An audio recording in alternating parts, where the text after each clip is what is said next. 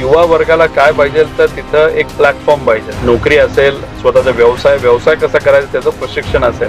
जिथं कुठं संधी मिळेल ती संधी आपण घेतली पाहिजे कामाला लगेच आपण रुजू झालं पाहिजे. राजकारण न करता त्या ठिकाणी एकत्रित येऊन समाजकारण करण्याची जरूरत आहे.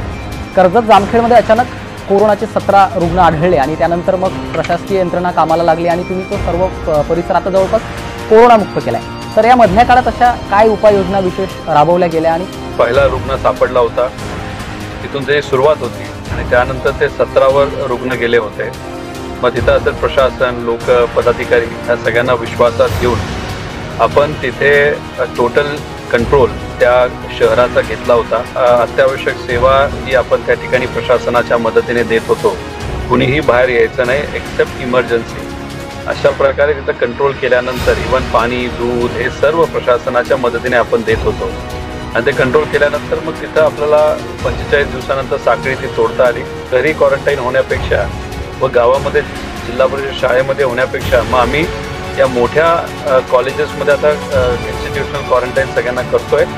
त्याच्यामुळे आता गेल्या सात आठ दिवसामध्ये करोनाची एकही लागण झालेली आता दिसत नाही. आणि तिथे मग लोकांना जी काही मदत लागते जसं पीठ असेल साखर असेल कांदे बटाटे असतील औषधं असतील सॅनिटायझर असतील ह्या सगळ्या गोष्टी आम्ही सर्वजण मिळून त्या ठिकाणी लोकांना देत होतो. ते मुलं मुली आता घरात बसून आहेत इतक्या लॉकडाऊनच्या काळात.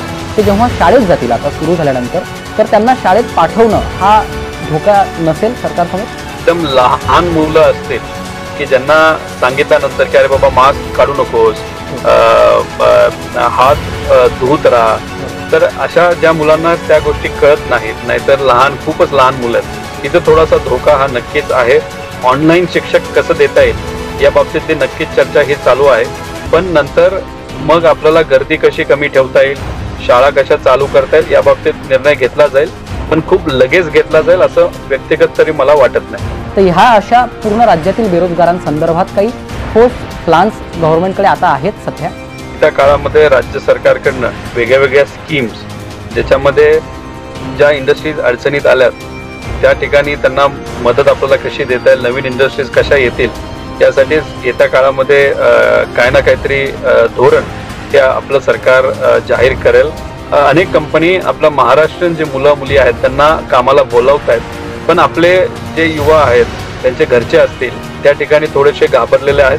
मला त्यांना सर्वांना सांगायचं आहे की तिथं असणारी इंडस्ट्री त्यांची काळजी घेईल जेवणाची सोय राहण्याची सोय काही इंडस्ट्रीज करतील.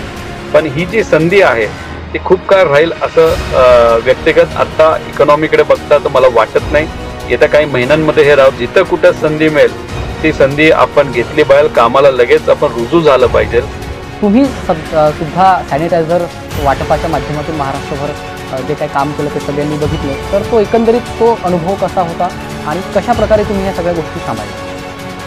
नाही कसं असतं की जेव्हा आपण टी व्हीवर बघत असतो पेपरमध्ये वाचत असतो की पोलीस असतील प्रशासन असेल तिथं डॉक्टर्स असतील हे आपल्या सर्वांसाठी राज्याच्या देशाच्या नागरिकांसाठी तिथं झटत आहेत. ज्यांना आपण करोना वॉरियर्स म्हणतो. तर सुरुवातीला सॅनिटायझरचा कमतरता मोठ्या प्रमाणात होता. माझी जी कंपनी आहे बारामती ॲग्रो गेले तीस वर्ष ती व्यावसायिक क्षेत्रामध्ये काम करते आणि खास करून ग्रामीण असेल आणि फूड सेक्टरमध्ये काम करते.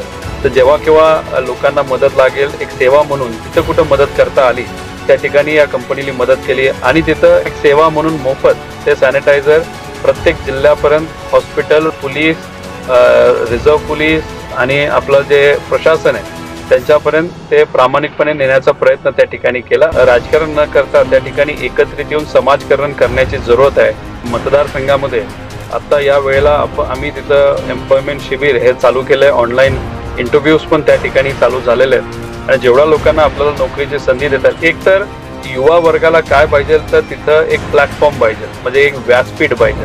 कोणाला संगीताची आवड असेल तर संगीतासाठी व्यासपीठ आपल्याला द्यावं लागेल.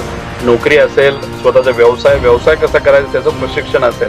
तर व्यासपीठ आज युवकांना द्यायची जरूरत आहे. त्यामुळे येत्या काळामध्ये आपल्याला ज्या युवकांच्या अडचणी आहेत म्हणजे त्याच्यामध्ये स्टुडंटच्या असू द्या स्कॉलरशिप वगैरे तर तिथे कोणालाही पाठपुरावा करायला लागला नाही पाहिजे. अशा प्रकारची सिस्टम म्हणजे सिस्टम ओरिएंटेड वर्किंग आपल्याला कसं करता येईल?